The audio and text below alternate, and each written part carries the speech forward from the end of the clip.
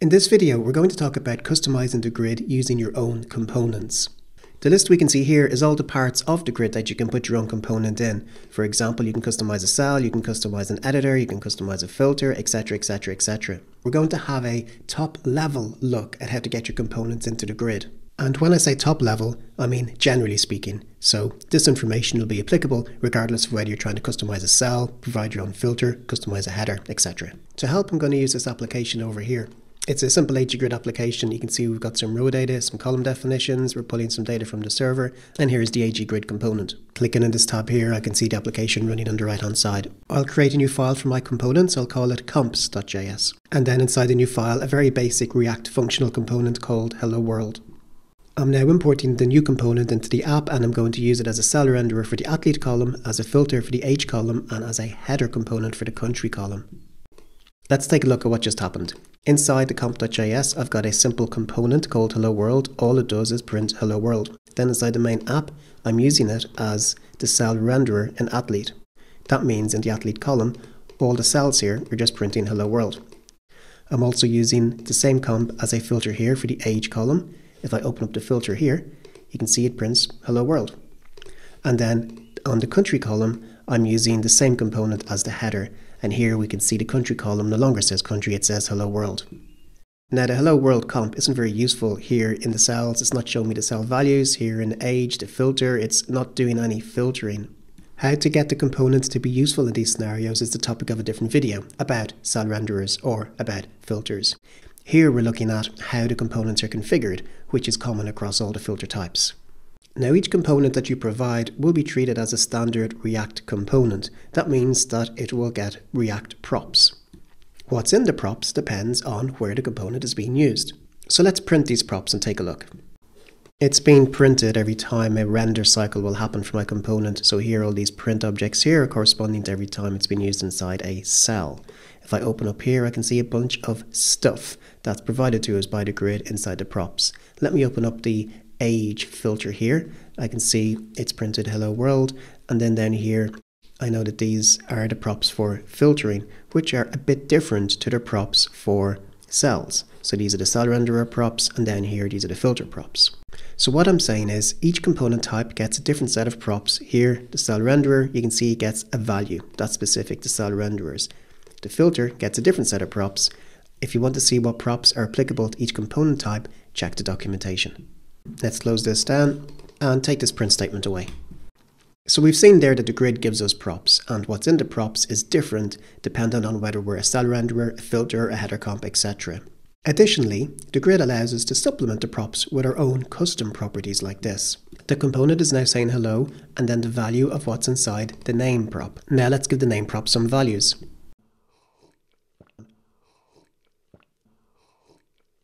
So what I've added in here on the athlete column is this bit. I've provided cell renderer params and inside the params I've given it key value pairs of name is Tom and that's why it says now hello Tom for all the different cells. Likewise for the age column I've added in this here which means then on the filter for age I'll see hello Dick and then finally for the header for a country it says hello Harry.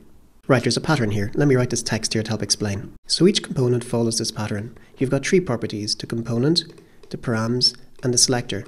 The name of each properties is identical, except params has the word params at the end and the selector has the word selector at the end. So if you see here cell renderer, it's then cell renderer params. Similarly for filter, you then have filter params, and for header component, you have header component params. It doesn't matter what the component is, if you want to provide params, just have another property with the word params at the end. Now we've also got this thing here called the selector. Let me just code something up really quickly to show that. I'm creating another comp called goodbye comp, and then I'm going to use a cell renderer selector to choose between the two comps. Okay, so inside the comps.js, I've now got two components. The first one says hello and the name, and then the second one says goodbye and then the name. Then inside the main application for the cell renderer, I have provided a cell renderer selector that's instead of a cell renderer, and the cell renderer selector picks between the two component types randomly. I can then see here on the right hand side, sometimes it says hello and sometimes it says goodbye. For details on what's happening inside the selector, then that's explained inside my video on cell renderers. What I wanted to explain here was the pattern between the property names, whereby we've got the component, the params, and the selector. that is cell renderer, cell renderer params, and cell renderer selector, which is consistent with the pattern I've defined up here. And again, this pattern is common across all component types. So for a cell editor, for example, you would have cell editor, cell editor params, and cell editor selector, and a cell editor selector will be used to have a different cell editor for different rows. And then if you want to see explicitly what all these properties are, go to our docs and go to the registering components page and you'll see this table here where we explicitly set out all the different properties for the different component types. Now you might notice that selector is only documented for cell renderers and cell editors. It's not documented for the other component types. That's because we think it only really makes sense for cell editors and cell renderers to use a selector. Now let's go back to the code these two components we've created are React functional components. It's also possible to use React class components and it's possible to use plain JavaScript components. That means not using React. I just need a few more seconds to finish this coding and we're done.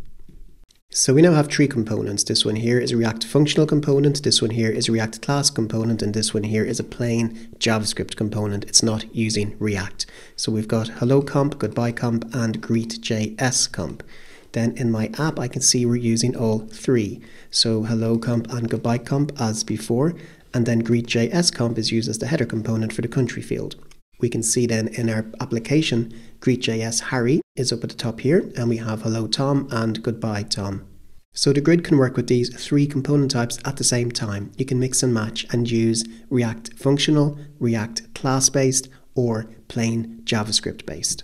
And that's true for all the different component types in the grid, whether it be cell renderer, cell editor, filter, header comp, etc. Okay, looking back at our tree types again, you're probably with me with these two, with React Functional and React Class Based. That's probably what you're using in your application. But this one here, the JavaScript one, you probably have two questions. One is, what the hell is that? And the second one is, well, when would you use it? So the first question, what is a JavaScript component? Well, you see, AG Grid works with all the different frameworks, and it also works when there's no framework. So that means it's got the capability inside to use a component that's not tied to any framework at all. And that's what this is. It's a component that's not tied to any framework. To see how to write such a component, go to our documentation and go to the page for the component that you want. For example, here I'm looking at Cell Renderer and I have React selected. If I then select JavaScript, it'll explain how to write a component using JavaScript. And this is what I've done here. So that answers what a JavaScript component is, but then you might be asking, why would you want to do this? If I'm writing my application in React, why would I want a JavaScript component? One scenario where this is useful is if you have a component you want to share across projects and not all of those projects are using React. By providing the component in JavaScript, it can be consumed by any project that uses AG Grid, even if it's not a React project. This is common in large organizations where there's a mix of projects using a mix of frameworks. Okay, moving on to the next topic, which is registering components. First, a quick breather. Whew. Okay, now I'm going to write some code and then explain. So what I did is I created a map here of component names to components. So AAA is mapped to hello comp and BBB is mapped to goodbye comp. Then this components map is given to the grid using the components grid property. To show this working, I'll put a cell renderer onto the age column using my clipboard. We can see here that the cell renderer is provided with the string AAA. When it is a string, the grid knows to look it up, and here we can see that AAA is mapped to hello comp, and that's why hello is being used underneath the age column. It says hello Mick. If we were to change it here to be BBB, it now changes to goodbye Mick because BBB is mapped to the goodbye comp. You have the choice when specifying your components. You can reference them directly or you can reference them by name. Most of the time you will reference them directly. This is what we do in all of our documentation examples. It requires less code and also the compiler will pick up if components are missing. Referencing by name has the advantage that it allows your grid definitions, for example your column definitions, to be converted to JSON. This can be useful for reporting applications using AG Grid to want to define and save report definitions. The grid comes with a bunch of components already registered. To see what they are, go to the documentation and in the components section there's a page registering components and in that page you'll see this list. It's all of the components that the grid provides. For example here, I can see all of the filter components that come provided with the grid. Let me just copy this into my clipboard. And then back with our code, remember the age column here has hello Dick for the filter. If I go to where that's configured, and instead of providing my comp hello dick, I'll provide a string. Number column filter popped out of my clipboard, and then I can see here hello dick is gone and number column filter is here instead. So you pick from the provided filters using the filter name as the component. That's explained in the video I did on filtering. Okay, now I'm going to step back a bit. I'm going to tidy this code up here. I'm going to stop using the selector and just specify the cell renderer just to make the code more tidy for the next piece. I'm going to configure some more component types just to show you them. So in the athlete column here, for example, I'm going to make it editable and then I'm going to specify a cell editor component. I'm going to use the goodbye comp. So here now in our application, if I'll double click on one of the cells here, goodbye pops up. That's the editor component. I'll press escape to cancel the editing.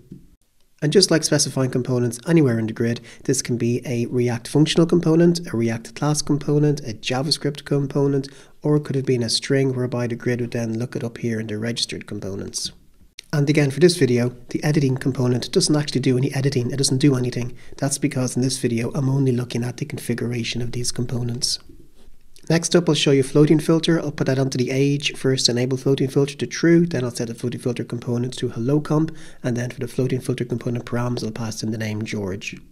So here's the new code here. And then on the right hand side underneath age, I can see hello George at the top where the floating filter would go.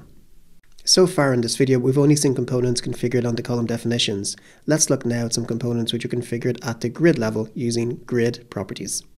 To help, where we're setting row data here, we're going to instead set an empty list.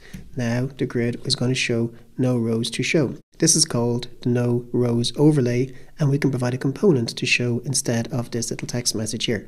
We provide the component using the no rows overlay component grid property and then we can provide params using a property of the same name followed by params. So here's our new code and you can see then that the overlay is now saying hello Susan. Actually, let's call her Susan No Rows. It might make a bit more sense. There we go. So this is the no rows overlay. This gets displayed when an empty list is given to the grid. Now, if no list is given to the grid, which we can do here by commenting this whole section out, then the loading overlay appears. And again, we can customize this. That's done with the grid property loading overlay component, and also we can use loading overlay component params. So here's the new code, and then here I can see goodbye Rachel loading as the loading overlay. Now there are two more components I want to showcase in this video before finishing up and they are only available in AG Grid Enterprise. So I'm npm installing AG Grid Enterprise. I'm now going to import AG Grid Enterprise into my app and restart our server. Okay, the first enterprise component I want to show you is how to put status panels into the status bar and that's done by configuring the status bar grid property.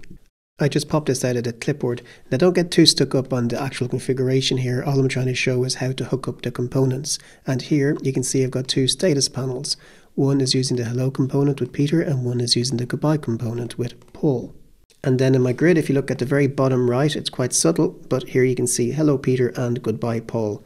They are two status panels inside the status bar. The last enterprise component I want to show you are tool panels. Let me just paste this code in here. This is the new code here. Again, don't get bogged down in the details. I'm just trying to show you how the components are configured. This sidebar here is a grid property. The sidebar defines what is displayed on the right hand side here.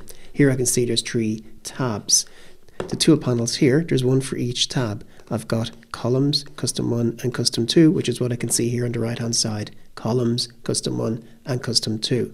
When I click on columns, I see the grid provided columns tool panel.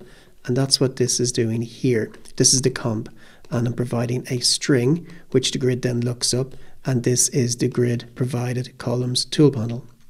Then for the other two tabs, I'm using the custom components, hello comp here and summer and goodbye comp here with winter. And then here, if I click on custom one, I'll see hello summer and custom two, goodbye winter. Now there's far more to know about tool panels, just like there's far more to know about status panels and status bars and every other component type that I went through here. There's lots to learn, but that's all for other videos. What I went through in this video was how to configure them into the grid. And all of the different component types have similar properties when it comes to configuration. They can all take React functional components, React class components, or just plain JavaScript components. You can also provide additional props to the components using params, and in this video we demonstrated that by providing the name property. We also saw that you can reference the components directly, or you can register the components with the grid and then reference them by name. Right, that's it. This video is complete. And I need to go now. I've got to play some PlayStation 5. You see, I bought this new game called Elden Ring, and I'm a Dark Souls fanboy. I really got to play it.